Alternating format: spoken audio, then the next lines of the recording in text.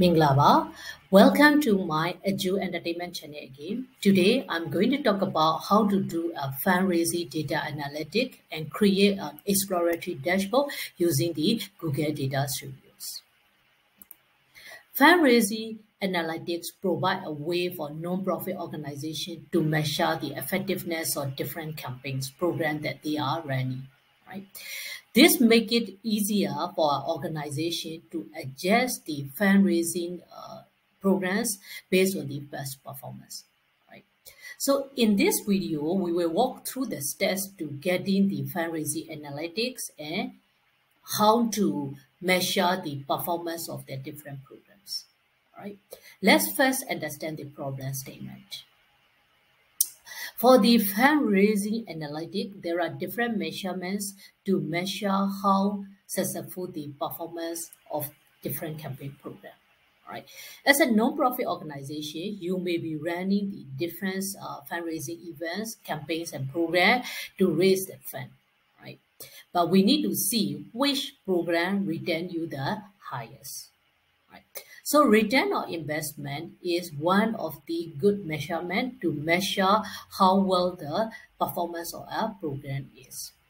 Return on investment can be calculated based on the uh, total revenues your organization gains from the, these promotional programs over the total cost.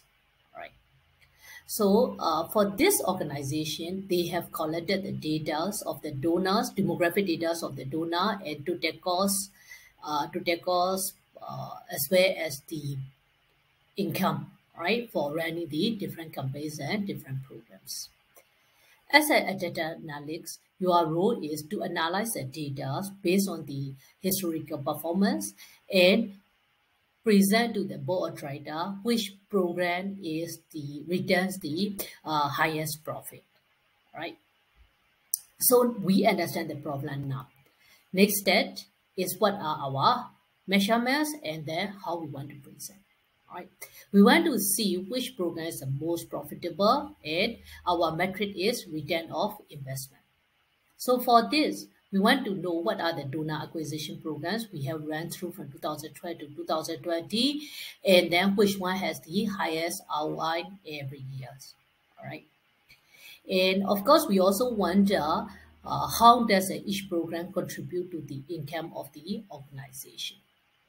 Maybe we may also want to see the balance between one or versus regular givers among the donor recruiters over the years. Right?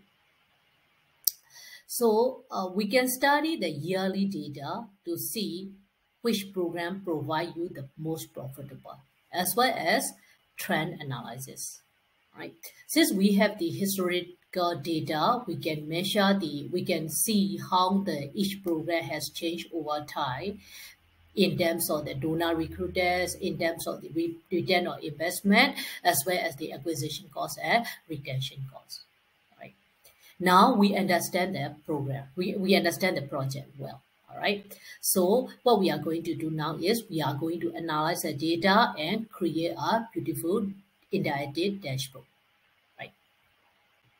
But before we create interactive dashboard, we have to really think before we write down, right? Before we create it, okay?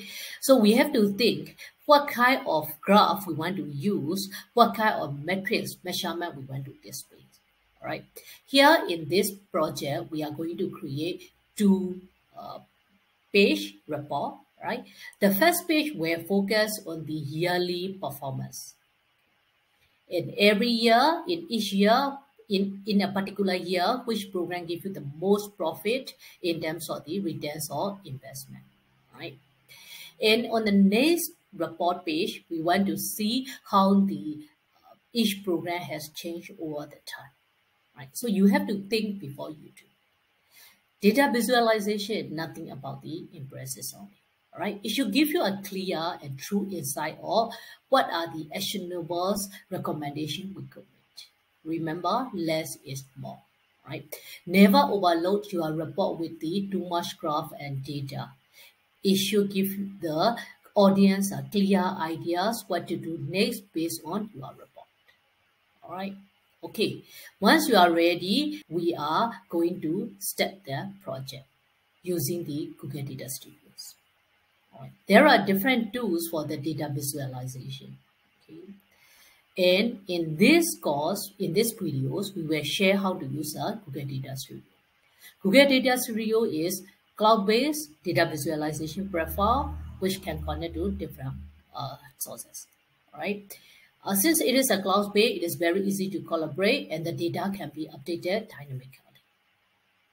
Okay, now if you are ready, let's start to work on Google Data Studios. Right. In the next videos, we are going to walk through the step-by-step -step guideline on the Google Data Studio, how to create the dashboard for this particular project. See you in the next video. Thank you.